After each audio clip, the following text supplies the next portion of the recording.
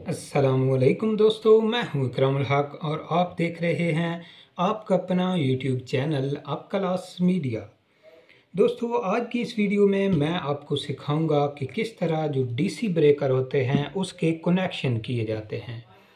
दोस्तों DC breaker के connection कुछ मुख्तलिफ़ होते हैं। मुख्तलिफ़ इसलिए होते हैं कि कुछ कन्फ्यूज़न इसमें होती है, क्योंकि इसके ऊपर पॉजिटिव और नेगेटिव का ख्याल रखना पड़ता है।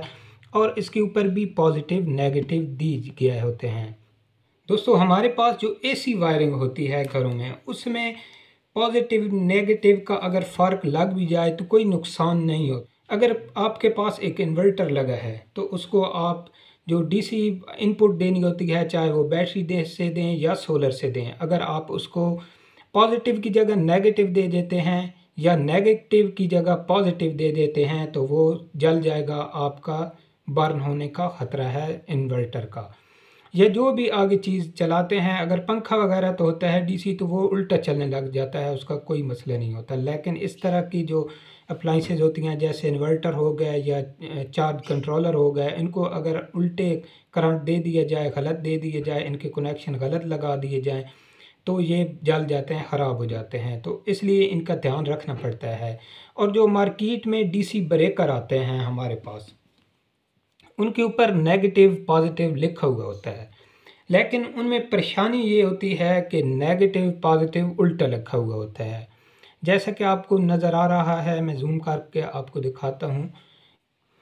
ये देखें दोस्तों, इस साइड इस पॉइंट पे है नेगेटिव और इस साइड पे है पॉजिटिव और इसके बरक्स दूसरी साइड पे जो है, वो इस साइड पे है पॉजिटिव और इस साइड पे है नेगेटिव। अब यहाँ परेशानी बनती है कि हम किस साइड से नेगेटिव, कई कुछ दोस्त इस तरह करते हैं कि जहाँ ये पॉजिटिव है, यहाँ पे पॉजिटिव दे देते हैं और ऊपर से नेगेटिव देते हैं और पीछे से जो नीचे से यहाँ आउटपुट होती है, इसकी इधर से नेगेटिव से नेगेटिव आउटपुट ले लेते हैं और पॉजिटिव से पॉजिटिव आउटपुट ले लेते हैं। तो ये वायरिंग इनकी गलत हो जाती है क्योंकि इस तरह कनेक्शन नहीं करने होते।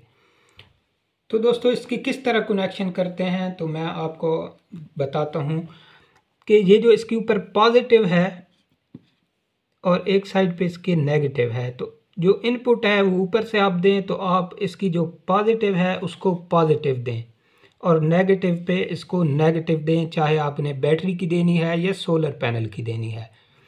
तो ऊपर से आप पॉजिटिव पे पॉजिटिव और नेगेटिव पे नेगेटिव दे दें। और आउटपुट जहाँ से आपने लेनी है, ऊपर को, ऊपर के जो टर्मिनल हैं, उनको देख के लें कि ऊपर से आपने इस साइड से पॉजिटिव दी है तो नीचे से भी आप इसी साइड से ही पॉजिटिव लें। और दूसरी जो इसकी उल्ट साइड होगी पॉजिटिव वाली, ऊपर अगर नेगेटिव है तो नीचे से भी आप नेगेटिव ही लें। इस तरह इस तरह इस आपने कनेक्शन करने हैं। और दूसरा इसमें आसान तरीका ये है कि आप अपने ब्रेकर पे, आपका ये जो ब्रेकर है, इसके ऊपर आप लिख लें। ऊपर पॉजिटिव है तो नीचे भी आप एक मार्कर लेकर उसके ऊपर पॉजिटिव लिख लें, जिस तरह आपको नज़र आ रहा है, मैंने लिखा हुआ है। तो इस साइड पे नेगेटिव है तो इसके नीचे आप नेगेटिव खुद ही लिख लें।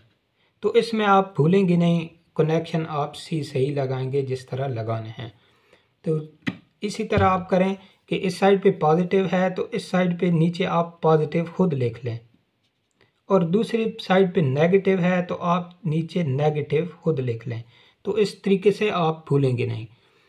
तो ये सिंपल सा तरीका है ये इस तरह कुछ दोस्त भूल जाते हैं, पूछते हैं कि ऊपर नेगेटिव है और पीछे से, जो नीचे से आउटपुट है, इधर उल्ट है तो किस तरह हम कनेक्शन लगाएँ डीसी ब्रेक करके। तो दोस्तों, जब डीसी ब्रेकर लगाएँ तो इन बातों का आप ध्यान रखें ताकि आपकी जो वायरिंग है, वो गड़बड़ ना हो, वो गलत ना हो। दोस्तों, यकीनन आपको ब्रेकर के कनेक्शंस की समझ आ गई होगी।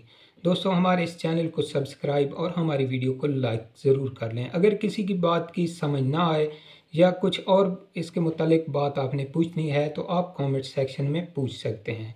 दीजिए, हमको इजाज़त। मिलेंगे अगली वीडियो में किसी और टॉपिक के साथ। खुदा हाफिज़।